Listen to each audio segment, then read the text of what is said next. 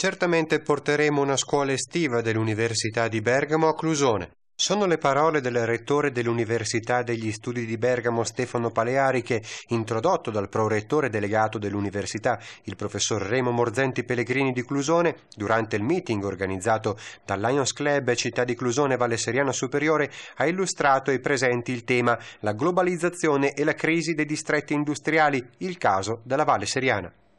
Questa sera lei ha detto una cosa davvero interessante per la cittadina di Clusone. Probabilmente ci sarà una summer school dell'università ubicata in Valseriana. Sì, abbiamo deciso di far scendere l'università sul territorio con delle iniziative specifiche, quella delle scuole estive dedicate a studenti provenienti da tutto il mondo e con delle finalità precise è nei nostri programmi, una la faremo senza dubbio a Clusone.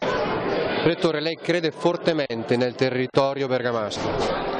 Ci credo perché se il territorio bergamasco governa positivamente la trasformazione che sta subendo ne trae beneficio anche la nostra università e noi vogliamo essere attori di questo cambiamento insieme al territorio. Cosa si può fare per uscire da questa situazione difficile?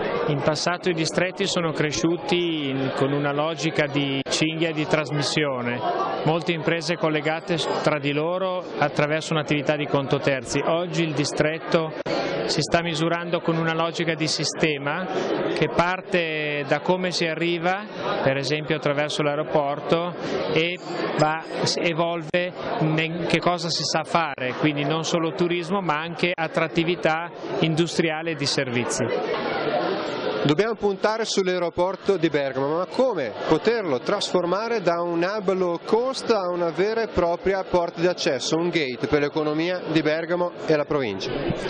Occorre guardare l'aeroporto come sistema di accesso e non come porta d'accesso esclusivamente, pianificare nel lungo non solo sui volumi ma sulla qualità degli interventi che attraverso i volumi si possono determinare nella nostra città.